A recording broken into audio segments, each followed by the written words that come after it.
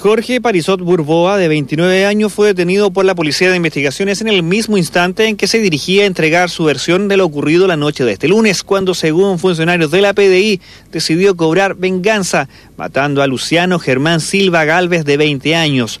Tras una fuerte discusión, el detenido habría decidido ir hasta el domicilio de la polola de la víctima, ubicado en la población Teniente Merino 2, armado para esconderse y luego dispararle en tres oportunidades. Eh, serían rencillas anteriores que habría tenido víctima y victimario. Ingresa eh, saltando la cerca de un domicilio para propinarle varios impactos de bala a la víctima.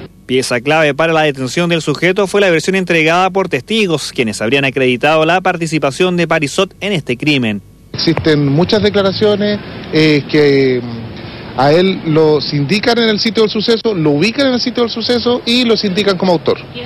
Conmocionados continúan los vecinos de la población Teniente Merino 2, sin embargo, una de las más afectadas es la pareja de la víctima, quien tras presenciar la dramática agonía de Luis, se encuentra recibiendo atención psiquiátrica.